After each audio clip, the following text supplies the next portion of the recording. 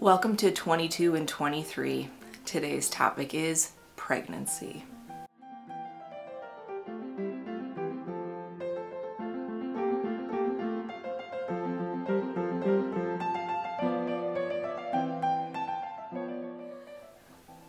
Uh, the vast majority of my questions revolve around some way pregnancy.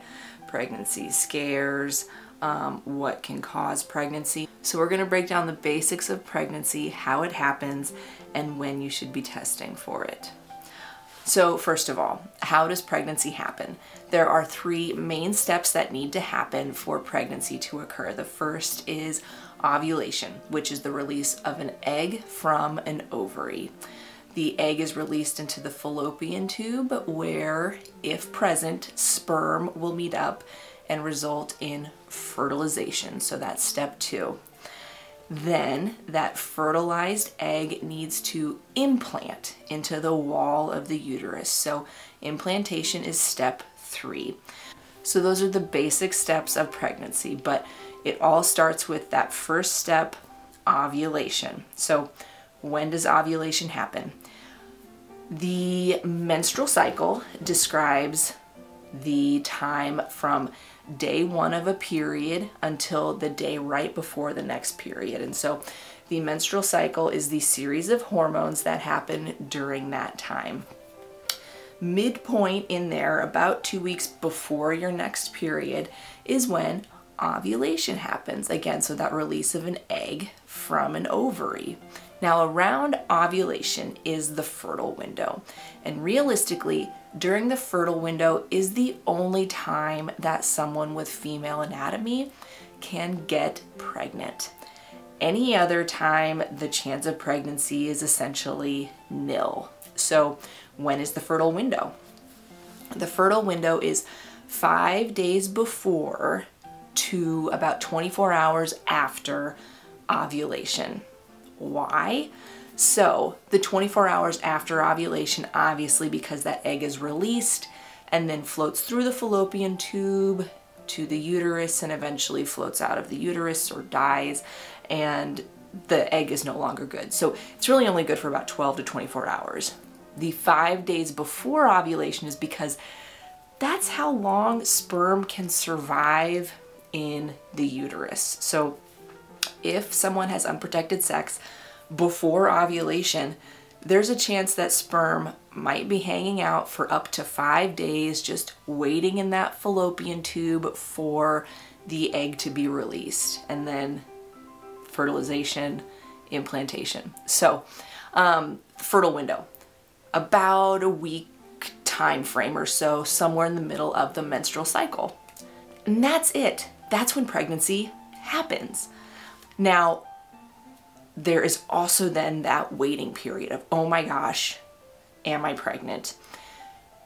Knowing when to take a test, a home test, is very important. So don't take a test too soon or you might get a false negative.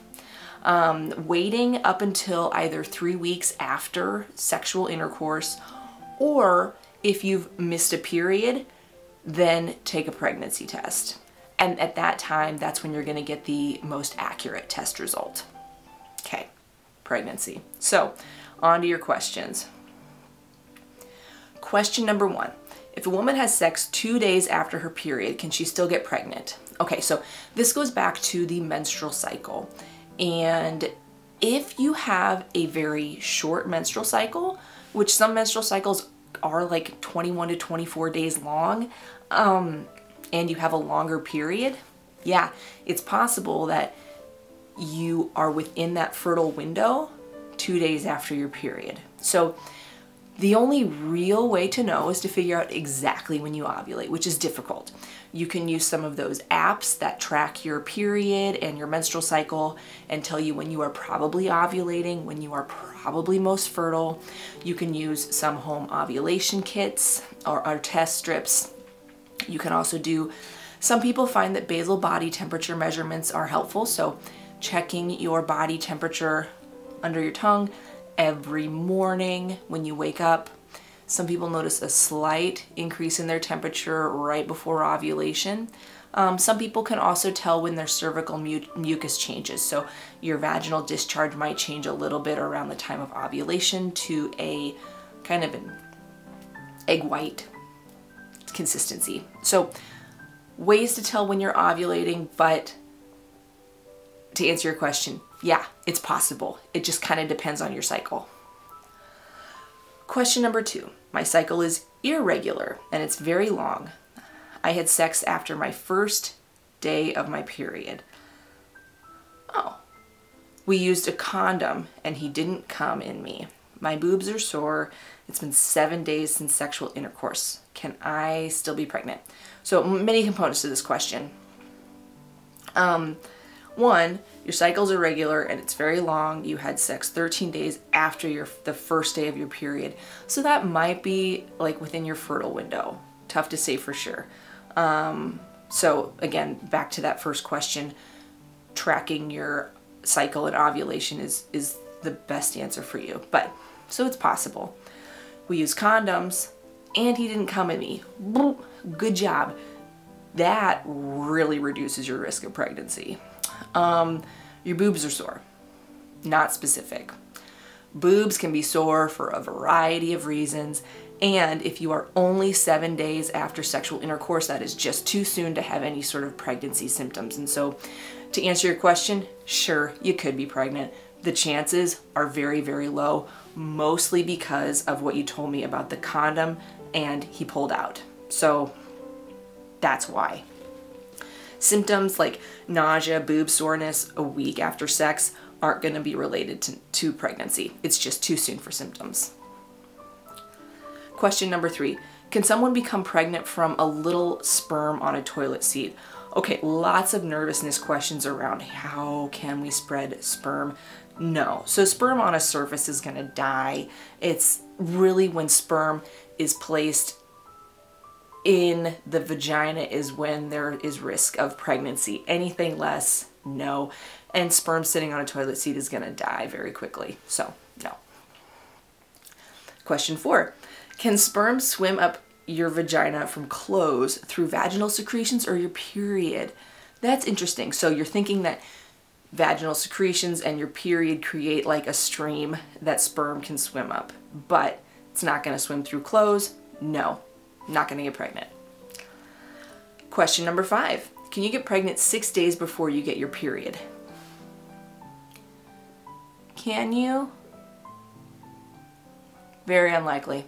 Honestly, very unlikely. Usually about two weeks before your period is going to be when ovulation is. So chance of pregnancy six days before your period, very unlikely.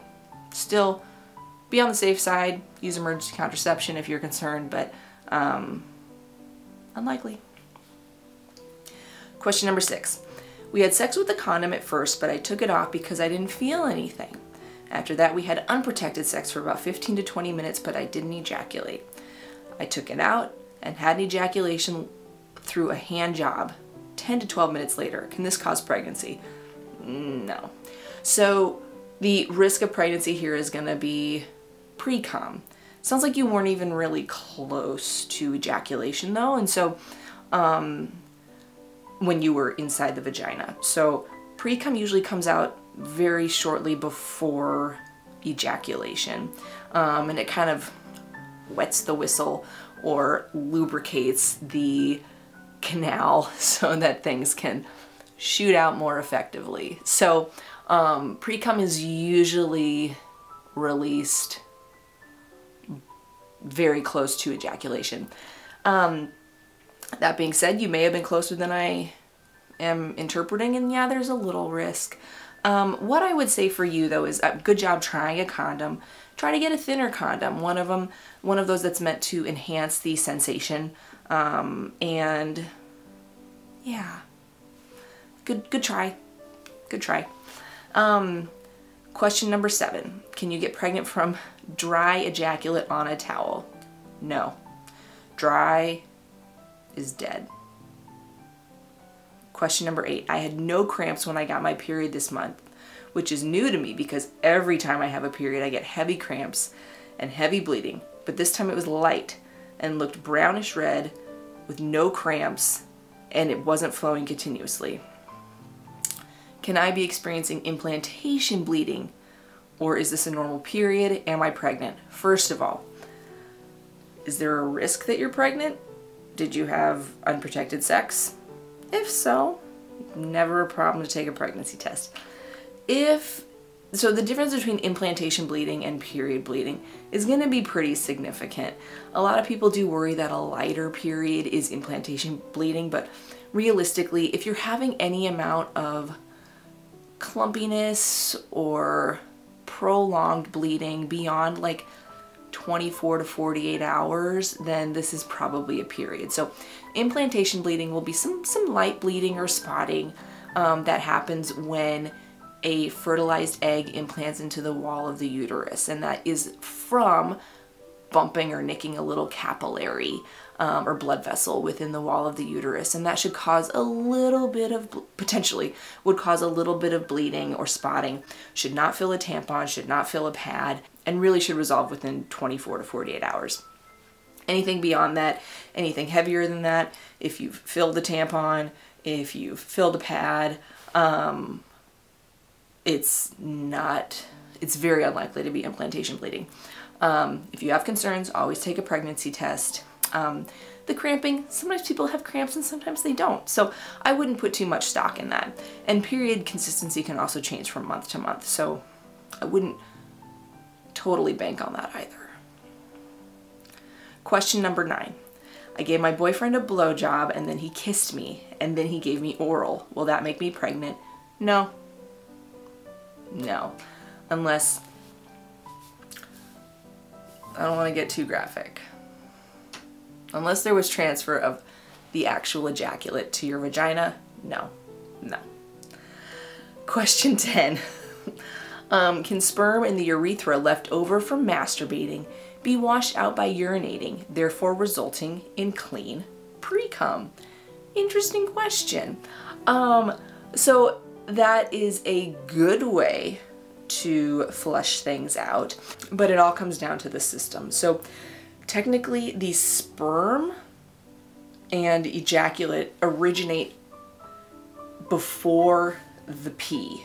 So it is still possible that there's some sperm here that your pee does not catch and shoot out. So very good thought, very good thinking, no. Uh, so that'll do it for this round of questions. Thanks for watching.